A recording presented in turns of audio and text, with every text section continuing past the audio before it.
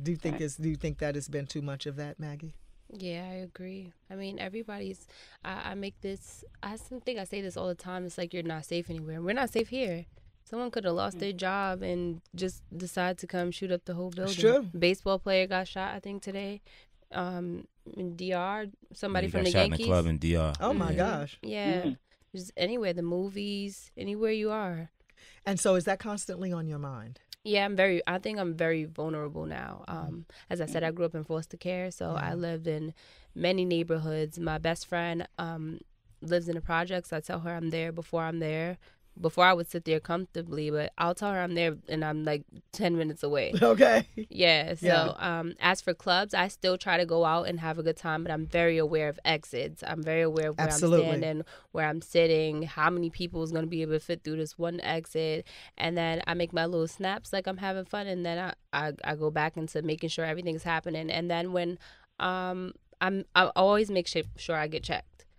Or you mean whoever I'm with, checked. Like get checked. Like if I'm going somewhere and they're not checking people, I'm probably not. Oh, I go. see what you mean. Yeah. Security. Yeah, the security doesn't really check like celebrities or, and they're the ones that have you know the the conflicts, the fights, the. So That's interesting that you say, but you know what? That's a heightened sense of awareness we all need to carry. mm-hmm. And it's not, and unfortunately, it only came to surface because of what happened with you. Mm-hmm. And so now every day, you said, what Sean said, that you're living constantly with pain. What is it like for you day to day with this rod connecting your femur? Well, it kind of really depends on the weather, but I, I can't run. Like I work out, I have to just do, you know, the Stairmaster, but I can't run. I can't wear certain heels that I was able to wear before. Depending on like the weather when it's raining or something, you know, it's like aches and pains. The bullet actually sticks out at some point in time. The scar tissue like builds up and then the bullet is like bulging out of my leg at times, but they don't want to take it out because they said um the that it's lodged in like a muscle. Mm. Yeah. I know of a lot of friends who've been shot, and they say the same thing about the weather. Oh, absolutely. That when it rains, and and just think about that. How often does it rain? And Sure. It reminds you of your pains and your trauma. Absolutely. Mm-hmm. So, Doc, what should we do to help overcome traumatic experiences such as this, especially when gun situations are consistently in our faces and being brutalized in our communities? Mm-hmm.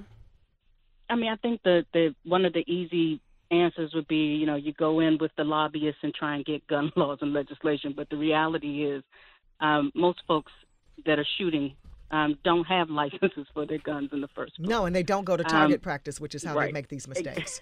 Right, because that means Um, 'cause but a they're lot- trained to shoot, mentally trained to shoot, but not rightfully trained to shoot. Absolutely. Right. And so a lot of it is um, attempting to change the culture, the gun culture itself. You're very right. When we look at television, pop culture is saturated. Mm-hmm. Um, I've, I've, a lot of folks were fans of the television series Luke Cage, and I used to say, Yes. when you understand that this brother is supposed to be bulletproof, but people still shoot. It's Okay. just what is the what is the concept of shooting And you know he's and continuing to shoot and continue right? There's there's a message that you're sending um, that if I'm angry, if I'm upset, if I'm feeling something, instead of me talking this out, trying to work it out, walking away, any of this, Mm-hmm. let's get a gun and shoot. And so that has to be reprogrammed a lot, and not after something has happened, but just as a general rule. Um, and I think sometimes it doesn't. We don't have young people sitting still. We don't let them sit still and Huh. teach them things about how to problem solve without turning to violence in the first place. So I like no to, one wants to get beat up I like anymore. I like to speak to that